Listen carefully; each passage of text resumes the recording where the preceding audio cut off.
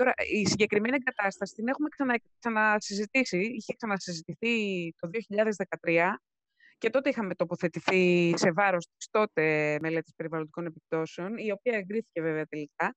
Τώρα, ε, υπάρχει ένα ιστορικό που δεν αναφέρεται και στην εισήγηση. Ε, η συγκεκριμένη εταιρεία έλαβε μεν την ζητούμενη έγκριση των περιβαλλοντικών όρων του 2014, αλλά από άλλο σημείο της, της ε, εισήγησης προκύπτει ότι το θέμα επανέρχεται και μπαίνει ζήτημα πάλι έγκριση των περιβαλλοντικών όρων λειτουργίας του εργαστασίου το 2016 και, μετά, και στη συνέχεια το 2017. Και γι' αυτό ζητήθηκε να υποβληθεί εκ νέου ΜΠΕ.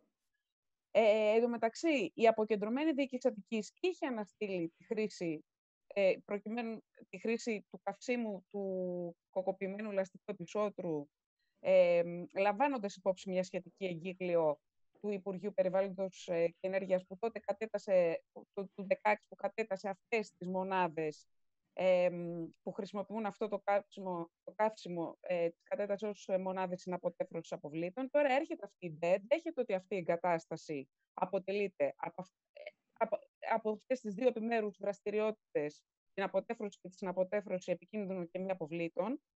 Γι' αυτό και συνυποβάλλεται για έγκριση και οφείλει αυτή να συμμορφωθεί με τις ειδικές διατάξεις που διέπουν τις μονάδες αυτές και έχουν σχέση με τις βιομηχανικές τους εκπομπές, αλλά από ό,τι φαίνεται κάτι τέτοιο δεν ισχύει. Και θα μείνουμε σε δύο σημεία ενδεικτικά. Πρώτον, δεν προκύπτει από πουθενά ότι υπάρχει μελέτη της διασποράς των ρήπων, δηλαδή αυτή η μελέτη πρέπει να δίνει με επαρκή τρόπο αποτελέσματα άμεσα συγκρίσιμα ε, με τις οριακές τιμές της ποιότητας του αέρα και είναι βασικό τέφος για, για την έκδοση περιβαλλοντικής άδειας. Και επιπρόσθετα, ε, υπάρχει ε, ένας βασικός όρος της υποβολής στοιχείων για την ε, αποθηκευτική ικανότητα για τις ρυπασμένες όμβριες απορροές από τους χώρους της μονάδας αποτέφρωσης ή για τα ρυπασμένα υδατά από διαρροές ή πυροσβεστικές επιχειρήσεις και πάλι δεν γίνεται καμία αναφορά στην εισήγηση.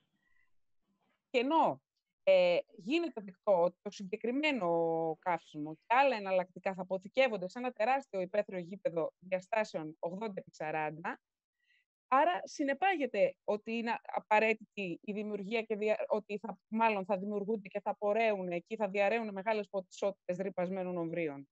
Γι' αυτό όμως δεν γίνεται κουβέντα για αυτό το κομμάτι, πώς διασφαλίζεται αυτός ο, ο όρος της διαχείρισης υποθήκευσης των uh, ρηπασμένων όμβριων απορροών. Και ταυτόχρονα υπάρχει πάντα ο κίνδυνος εκδήλωση μεγάλης πυρκαγιάς και είναι ένα σύνηθε φαινόμενο τα τελευταία χρόνια στο πολύ παθοθιάσιο από την υπαίθρια αποθήκευση αποβλήτων. Γι' αυτό λοιπόν και σύμφωνα με την τοποθέτησή μας το 2013 και με βάση τα παραπάνω, εμείς ε, διαφωνούμε με τη μετατροπή της υπόψης εγκατάστασης σε μονάδα καύσης αποβλήτων στην καρδιά του Θριασίου και γι' αυτό θα καταψηφίσουμε.